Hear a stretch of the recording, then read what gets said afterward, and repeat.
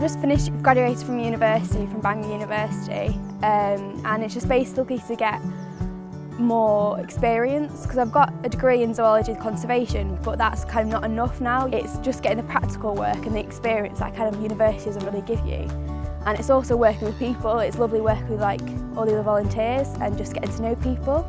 A lot of the, well a lot of the reserves we work on is quite public so not only do we achieve like habitat management for wildlife and the environment around us, but also it helps like the local community as well.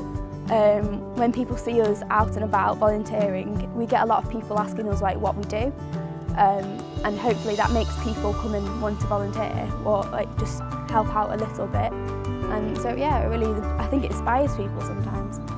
It's quite a sense of achievement really. It's like, oh, from you, you don't have a before picture and an after picture. It's like, I've done that. We've all worked together to achieve this. It's something really quite amazing.